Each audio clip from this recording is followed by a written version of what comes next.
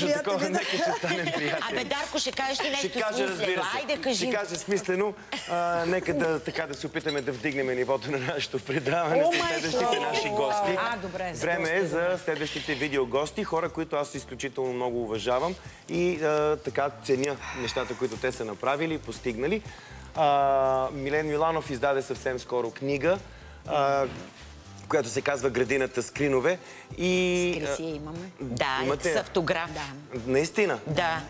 Ето, пък аз съм му колега и нямам. Еми, то се вижда колко те ценят и колегите. Дай какво? Нищо. Айде, да, нека да видим за какво ще ни дадат повод да разговаряме Милен Миланов и професор Георги Каприев. Премиерата на книгата Милен Миланов «Градината Скринове» бе съвсем скоро. Повече за нея ще разберем от самия Милен Миланов и от професор Каприев. Какво беше за вас това да разкажете част от а, своя професионален път, да напишете текстове и да получите такива в а, замяна под формата на книга?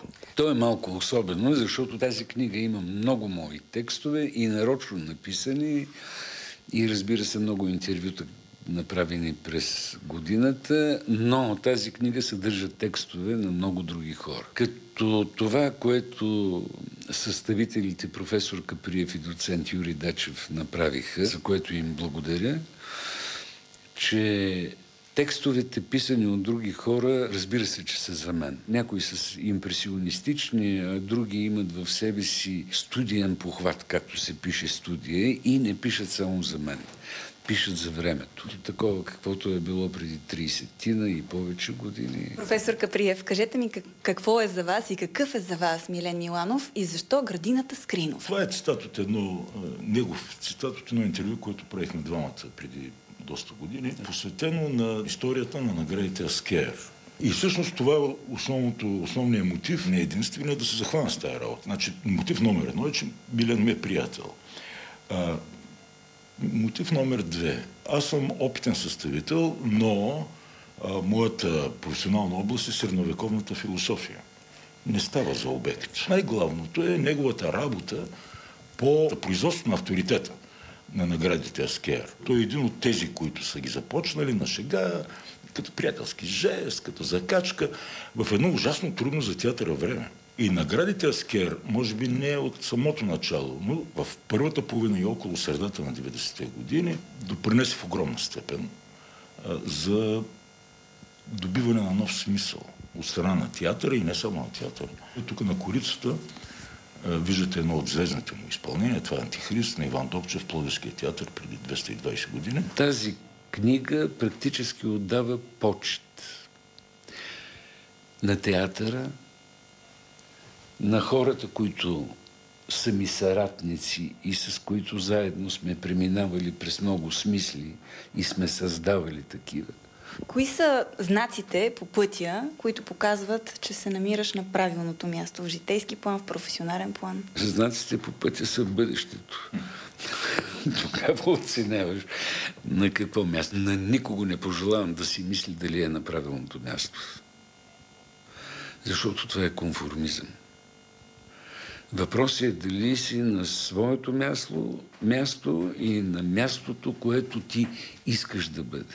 Аз затова казвам, че винаги, когато съм на сцена или когато реша да се захвана с нещо, аз не мисля за, за такива общи понятия. Ама общество, ама време. Не. Аз мисля за, за конкретни хора, за конкретни ценности. А за публиката? Защо ме вкарвате в това клише? Аз обичам публиката, аз се уважавам. Това, това ми е професията. Но аз винаги си представям, че целият този салон е пълен с просветени хора. Никога не съм си позволявал да играя по такъв начин, че абе там има едни хора, които те толкова ще разберат. Толкова ще... Не, дайте сега. Не му е работа на актьора да се занимава с, с вкуса на публиката, с исканията на публиката. Не само актьорската професия. Живопис, поезия, философия. Тя само тогава има смисъл. Когато искаш да накараш другия да те разбере, да го просветиш, само тогава. Нека това да не звучи първенюшки, но е, само, тогава има, само тогава се ражда смисъл. Ами, а, да, има доста истина в това, което каза господин Миланов накрая, но а, смятам, че е и също важно и съществено да знаеме какво иска публиката, защото в крайна сметка това, което ние правим на сцената и а, е точно заради а, публиката. И не е без значение какво, а, какво иска тя.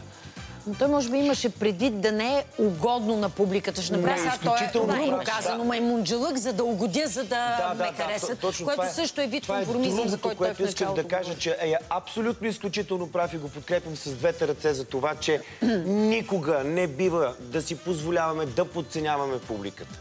Еди, кой си бил такъв, еди, кой си бил такъв, това като го направят, дали ще ме разберат. Ще те разберат.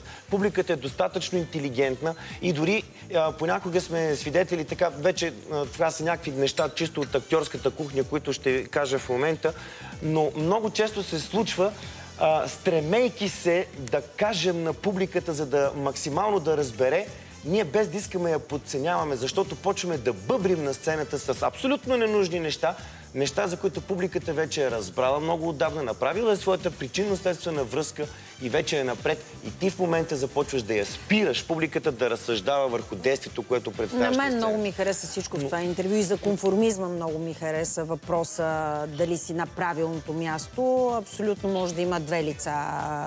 Конформизъм пълен, дали няма по-добро място я да отида на друго Да. и дали това е моето място, което е моята лична отговорност, осъзнатост. Да, Да. тук си тежа на това място, Да. тук мога да направя смислени истински неща. Това е така. Аз, аз лично искам да поздравя Милен Миланов, защото той наистина е мотора на тези най-авторитетни награди Ескер и аз приветствам излизането на всякакви книги и текстове, които а, съдържат информация за миналото, за големи творци, които са памет. Защото тук аз много се вълнувам от тази тема. Тук пак ще цитирам Кивокян, че ние се отнасяме към памета като към лека жена, чиято биография може да пренаписваме, за която можем да говорим всякакви неверни работи.